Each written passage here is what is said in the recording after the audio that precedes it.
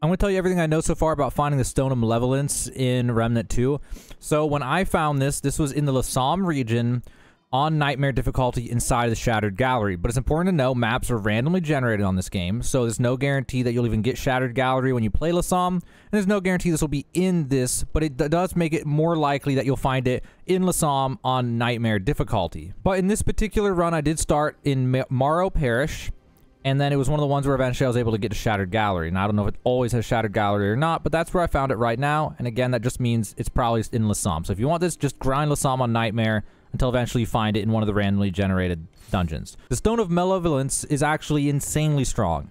It makes it so elemental damage generates 15% additional mod power. So that even applies to if I use my ability with my um, this thing and shoot the fire bullets, uh, though that makes the damage I'm doing from that generates mod power, so I can basically use that forever off cooldown if I want. Uh, anything you have that does elemental damage will then generate mod power, which is really, really broken. So it's a really strong ring, actually.